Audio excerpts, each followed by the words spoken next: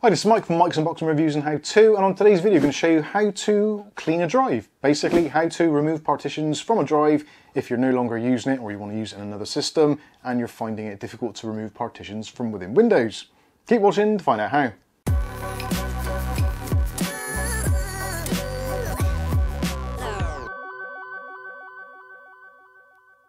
Okay, so in today's video is going to be actually a very straightforward thing, uh, just using actually one command in Windows.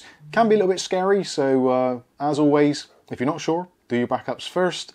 But otherwise, let's get straight on with it. Okay, so we're on our computer here, so we've got a drive actually attached in a USB caddy. And as we can see here, so this is an old Windows drive, so it's got a Windows installation. There's some unallocated space. got our recovery partition section and our UEFI boot section. So if you wanted to delete a drive or something, generally what you do is you right click here and you choose something like delete volume, that kind of thing. Then you can go over to the recovery partition and there's basically nothing you can do with it.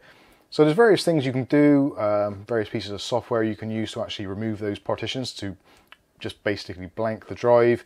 You can on here, you can choose various sections, convert to dynamic disk and things. You, again, there's things you can do. But what we're going to do is we're going to use the command line and actually just completely erase the drive.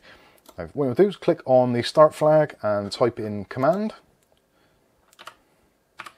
So CMD, we're a command prompt and right click and choose run as administrator.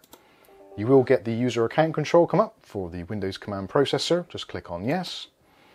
And in this section here, what you want to type in is diskpart. All one word and then hit enter. And this is basically uh, kind of an old fashioned command line method of changing partitions, deleting drives, cleaning them, etc, etc. So first thing to do is type in list disk and hit enter and then it'll show you the drives in the computer. Now obviously if you select the wrong drive at this point things are going to get really bad very quickly so make sure you know which drive it is. In this particular instance because I know that disk 0 is my main Windows drive I can tell the difference even though the sizes are extremely closely together, as you can see there, as in 953 gigabytes versus 931. But disk one is the one we want to do. So what we're going to do is do select and disk one. Oh, sorry, space one, my mistake. So it says there, disk one is now the selected disk. So what we can do, you could do all sorts of things now. So you could uh, list partitions, all that kind of stuff if you want to. But the simple way, if you just want to actually erase the drive in its entirety, just type in clean and then hit enter. And there we go. diskpart succeeded in cleaning the disk. So this hasn't done a forensic deletion or anything like that. But as we can see now, if we look in disk management, there we go, there as our disk, and it is not initialized. So at this point now, you can right click on it, nothing going on there, and right click there, you can do initialize disk, and you can format it and partition it and do whatever you want to do.